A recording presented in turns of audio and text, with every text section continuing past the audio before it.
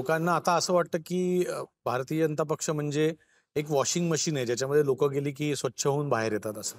ते असा एक नरेटिव्ह तयार करण्याचा प्रयत्न होतोय. एक मला उदाहरण असं दाखवा की बाबा भारतीय जनता पक्षात कोणीतरी आला आणि म्हणून त्याची जुनी चाललेली केस बंद होऊन गेली. असं नाही झालंय. पहा मी एक गोष्ट तुम्हाला सांगतो की मी काही असा माझा दावा नाही की मी जगातला सगळ्यात प्रामाणिक माणूस आहे. राजकारणामध्ये कॉम्प्रोमाइजेस मी पण करतो. पण ते किती केले पाहिजेत याची सीमा मला माहिती आहे माझ्या पक्षालाही माहिती आहे. शेवटी आदर्शवाद हा महत्वाचाच असतो पण जो आदर्शवाद हा तुम्हाला गेमच्या बाहेर टाकेल त्याचा फायदा नसतो. गेममध्ये राहिलात तर आदर्शवादी राहाल. गेममध्ये राहिलात तर एथिकल पॉलिटिक्स करू शकाल. गेमच्या बाहेर फेकला गेलात तर एथिकल पॉलिटिक्स करू शकणार नाही तुम्ही. त्यामुळे गेममध्ये राहण्यापुरतं कॉम्प्रोमाइजेस करावे लागतात.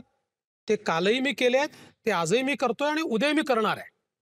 पण मला हे नक्की माहिती आहे की माझा जन्म राजकारणामध्ये एथिकल पॉलिटिक्स करण्याकरताच झालाय जिथे संधी मला आहे तिथे मी एथिकलच राहणार आहे. आणि म्हणूनच पाच वर्ष मी महाराष्ट्राचा मुख्यमंत्री होतो.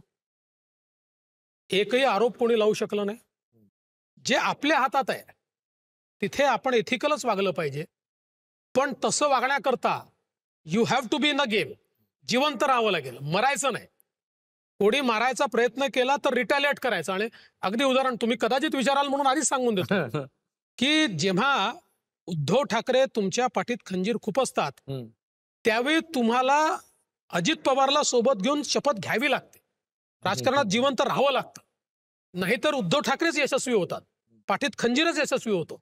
त्यामुळे माझ्या पाठीतला खंजीर काढून मी ताठ उभा राहू शकतो तुमचा मुकाबला करू शकतो आणि तुम्हाला घरी पाठवू शकतो हे दाखवून द्यावं लागतं.